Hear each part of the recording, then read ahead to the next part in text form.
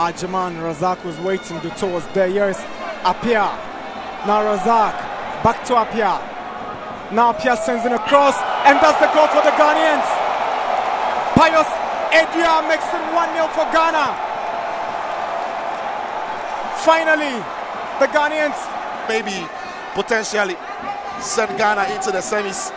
Straight away, it's Togo losing the ball in their own half. And is that man again? We did say that he's the danger man for them, Ghana.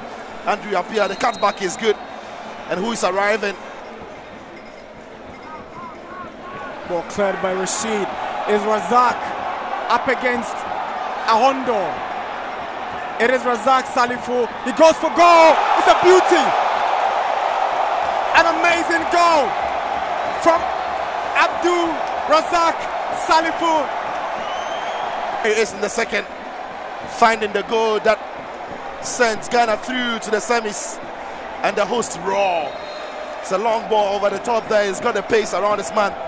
But he calms down, picks his moment, checks the ball to his right, and the effort is pure. And here is Collins Ajiman on his bike down the right. The Ghanaian captain goes past his marker. Ajiman is a penalty. Penalty for Ghana. Handball right in the box. Ajiman has already scored from the spot. He steps up. Ajiman and Ajiman scores as Ghana leading Togo by three goals to nil in Cape Coast. It could certainly be the icing on the cake for the Ghanaians. And again, if you like, he created the penalty himself with the